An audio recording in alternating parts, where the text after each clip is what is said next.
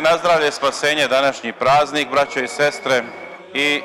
kada vas vidimo ovoliko sada u ovom broju posle liturgije, posle zamone molitve i posle pričešća, da ste zajedno ovde sa nama do kraja službe, to govori da ste vi ljudi i narod koji znaju šta je služba Božja.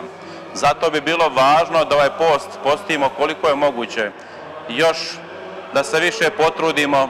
pa kako bi do Vaskrsa priveli još oko sebe najbližih svojih roditelje, svoje decu, svoju braću i sestre, supružnike svoje, sve zajedno da privedemo, ne bili za Pashu, za Vaskrs, bila puna crkva ovde nas, ne bili zajedno pomolili se da nam Gospod blagoslovi godinu, da nam ljeto bude blagosloveno i da napokon nekako bez bilo kakvih opterećenja idemo u ovome životu i živimo slobodno